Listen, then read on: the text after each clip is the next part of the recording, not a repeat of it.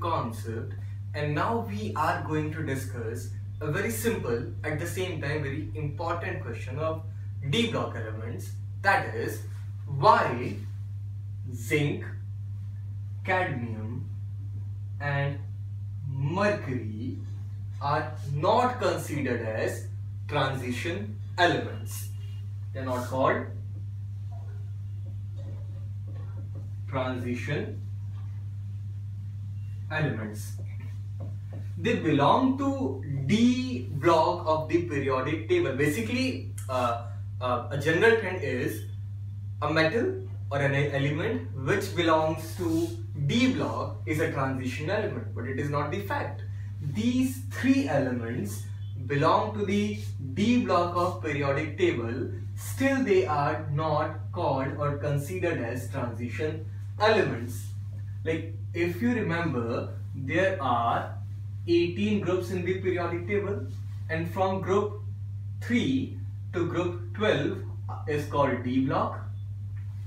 And in this D block these three elements belong to the group 12 of the periodic table. So they are at D block elements but they are not called transition elements. Why? So first this thing is clear to us that every D block element is not transition element there is a specific criteria which an element must fulfill to become a transition element. And what is that criteria? According to the definition of transition elements, that element or that metal which has incompletely filled D subshell either in its ground state or in its most common oxidation state is a transition element. So for being a transition element or transition metal, a metal must have incompletely filled D subshell. That means it must not be D10. If we talk about zinc, electronic configuration of zinc is 4s2 3d10. They are D10. Similarly, cadmium and mercury. That means all the members of group 12 have electronic configuration ns2 n minus 1 d10 they are d10 they don't have incompletely filled d orbital but they have completely filled d orbital. For being a transition element the d orbital or d, d subshell must not be completely filled. So because they have completely filled d subshell they are not transition element. But again there is one more question. If we talk about copper the electronic configuration of copper is also 4s1 3d10.